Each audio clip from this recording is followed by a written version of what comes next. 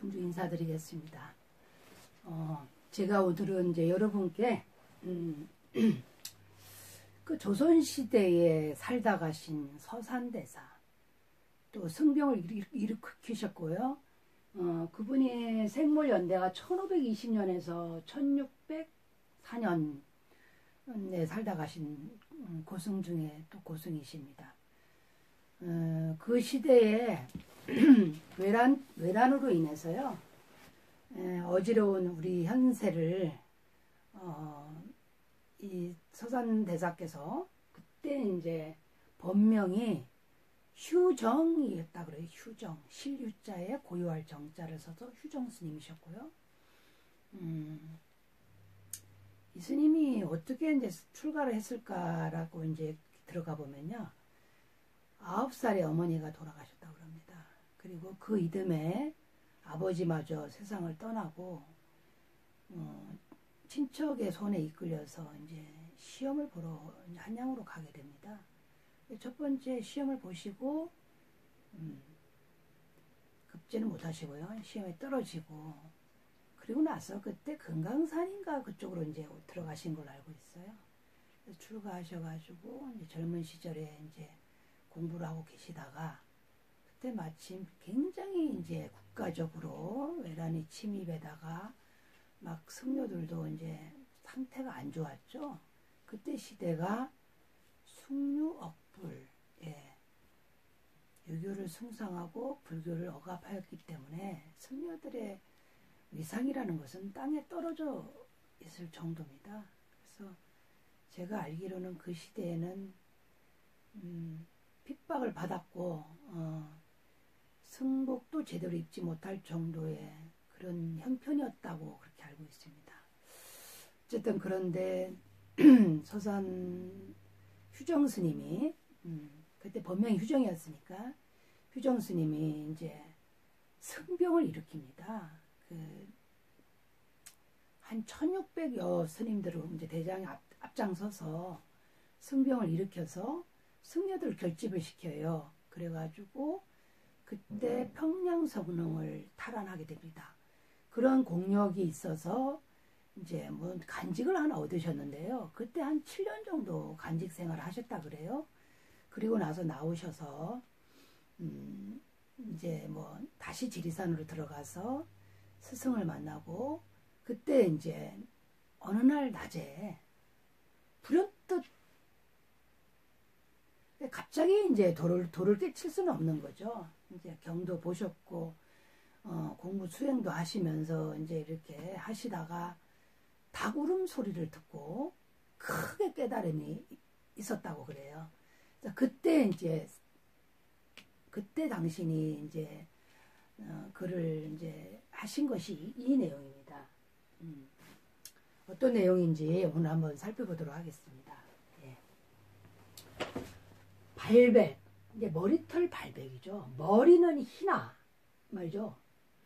발백 비신백이다 이 말이야. 마음은 힐 수가 없다는 거죠.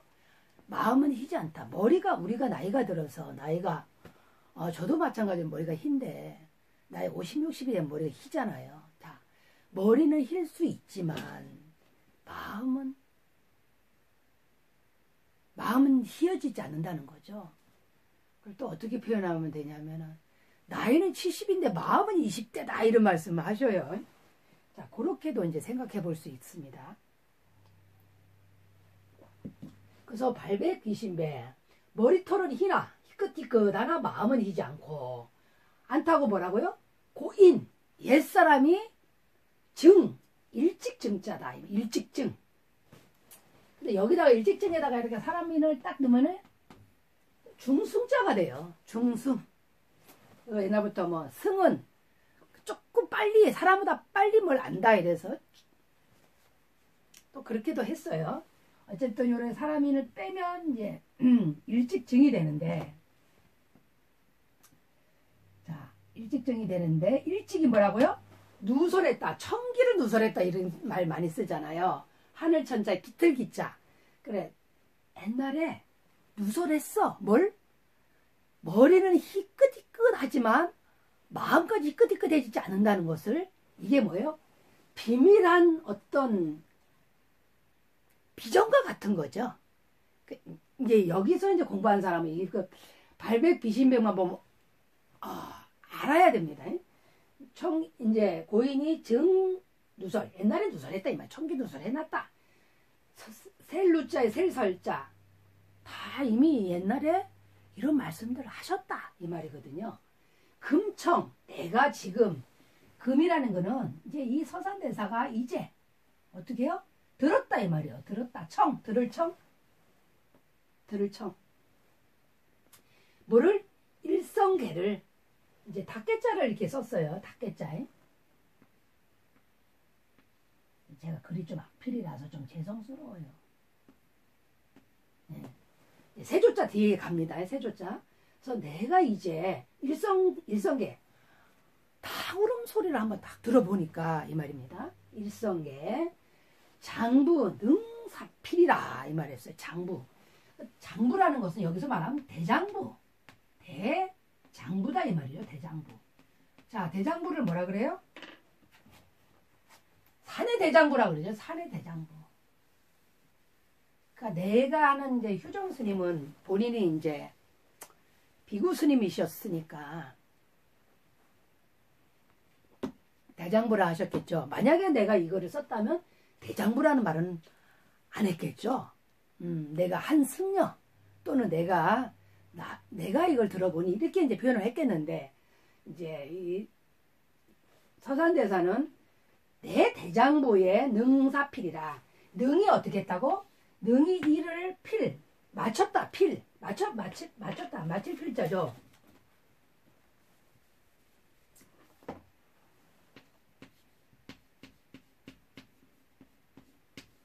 뭐 마치다 다하다 이렇게 돼요. 대장부가 능히 해야 될 일을 내가 딱 해 맞췄다.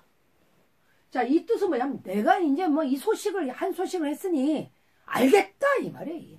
내가 해야 될 일을 1대4 인연을 해결했다. 큰 일을 해결해 버렸다 이 말이에요.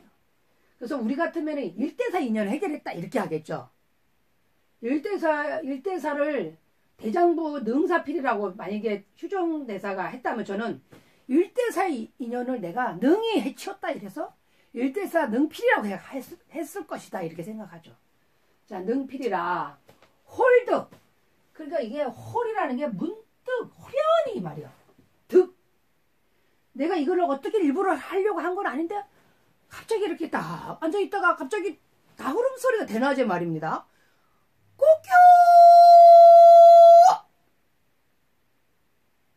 그 소리 하나에 내가 능, 내가 호련히 어떻게 얻었다. 어떻게? 내 마음을 봤다 이 말이에요. 홀득이라는 것은 내 마음을 봤다. 어떤 거?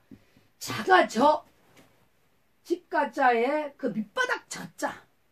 그러니까 자가저라는 것은 스스로의 집, 내 고향, 내가 깨달아서 돌아갈 곳, 그 밑바닥. 그 밑바닥을 내가 이미 능득 얻었다. 이해되시죠? 호련히 얻었습니다. 뭐 자가의 저, 내 집, 내 고향집, 내가 깨달아서 돌아갈 수 있는 그런 그 곳, 그곳을 어, 어떻게 드겠다 이 말이죠. 자, 옆 저자는요 밑바닥이라는 뜻이에요. 어떠한 우리가 어, 한길 밑에 바다를 만약에 위에서 봤다고 이렇게 말할 수 있어요? 어, 바다가 보여. 이렇게 하면 보인다고 하죠. 자, 밑바닥까지 보려면 어떻게 해야 될까요? 진짜 잘, 잘 보이는 잠수함을 입고 안에까지 들어가 보면 밑바닥에 진짜 뭐가 있는지 볼 수 있죠. 그 정도로 내가 훤하게 밑바닥까지 자가, 저, 얻었다? 이런 말입니다. 얻었다. 두두 지 차이 말이에요. 두두 물물이라는 말이에요. 두두 지 차이. 두두 물물이 말은 두두 머리 머리니까 모든 것들 두두 물물이란 말 많이 쓰거든요. 말물자를 써서 두두물물이 뭐 온갖 것들이 뭐 이런 말로 막 쓰이는데 다만 모든 세상사 모든 사물 모든 것들이 어떻게 요 다만 2차자죠. 2차 그러하리. 다만 이러하더라. 다 이렇더라. 여러분들이 이렇더라면 이게 이렇더라면 아시겠습니까? 아는 자는 아 이렇더라. 내가 말이라 어떤 일을 해보니까 내 경험을 해보니까 그것은 이러하더라. 그런 말이죠. 내가 농사를 지어보니까 내가 어, 유기농으로 농사를 지어보니까 그 농사는 이러하더라. 자 경험에서 나온 말입니다. 이거는 왜 능, 능이 마음에 그 자기의 마음만은 깨달은 자만이 그러하다 이렇게 말할 수 있는 거예요. 모르는 사람 그러하다 뭐, 뭐 그러합니까? 모르죠. 예. 자 이거는 아는 사람만이 아는 말입니다. 만천 금보장이라 이 말이요. 만천이라는 거. 너 엄마 아버지 좋아? 엄마 얼마만큼 천 천만 어 하늘만큼 땅만큼과 똑같은 말이에요. 하늘만큼 땅만큼 이렇게 표현하죠. 천석군 만석군 이렇게 표현하듯이 그럼 만석군 천석군이라는 것은 많은 것을 말하는 거예요. 만천. 그러니까 우리가 헤아릴 수 없는 많은 경전들. 그러니까 어, 근보장이라는 것은 왜 근보장이라는 것은 부처님의 말씀을 말씀에 보배로운 것을 장 감췄다 이 말이요. 그래서 장경각이라는 말을 이렇게 쓰잖아요. 경찰을 써서 예, 장경각이다 이렇게 하면 이제 여기 각자를 쓰죠. 예.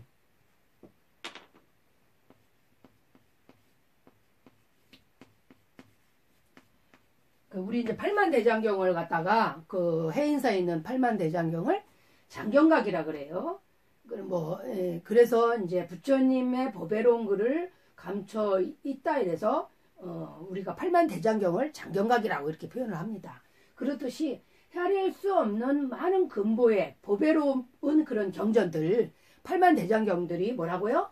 원래 근원 근원 원자죠. 원래 이 시자 원래 이 하나의 빌공자 텅 빈 어떤 거라 종이 시자 종이와 같다. 원래는 팔만 대장경이란 그 장경의 그 경전도조차도 원래 이 일공지다 이 말이야. 원래 없다. 하나도 그려져 있는 게 없다. 그래서 당신이 깨닫고 나서 쓴 개송이에요 이게. 그래서 깨달을 오자 오도송이라 그래. 오도송. 그래서 이제 휴정 스님이 이제 80년도 1604년도에 이제 열반을 하실 때 이제 어, 이런 이런 말씀을 하시고 이제 열반을 들게 되거든요. 1604년에 이분이 이제 예, 제자들을 두고서 가시면서 이제 이런 글귀를 남깁니다. 80년 전에 이 말이요. 80년 전에 그 기자 기시야 그가 바로 이 나이더니 말이에요. 그가 이 나이더니 80년 후에 내가 이제 80년 대 지나고 내가 이제 죽음의 문턱에 들어서서 딱 보니까 후 내가 이 그더라 그 이더라 이 말입니다. 깊게 한번 생각해 보시기 바랍니다. 그래서 이제 제가 이렇게 요, 요즘은 이제 우리 구독자분들하고도 뭐 문자나 이런 것들 또는 간혹 어, 저한테 이렇게 메일 같은 것도 보내오시는 분들이 계시는데요. 어젠가요? 제가 뭐 이렇게 저래 이제 뭐 이렇게 글을 올려놓으니까 제가 되게 망상 떨고 있는 걸로 안타까워 하시는 마음이 좀 있으셨던 것 같아요. 어, 어, 고소를 많이 연구하시고 공부를 많이 하신 분이라 그런지 저한테 어, 문자로 이해 하나 딱 왔어요. 전락, 무의, 한도인 이렇게 하고 어, 부재, 망상, 부 구진이라 이렇게 갖고 딱 이거를 저한테 보내셨어요. 제가 이렇게 딱 이걸 보니까 딱 저 말씀을 아유 저한테 두고 하시는 말씀이네요 이렇게 했어요. 절학 배움을 끊고 음?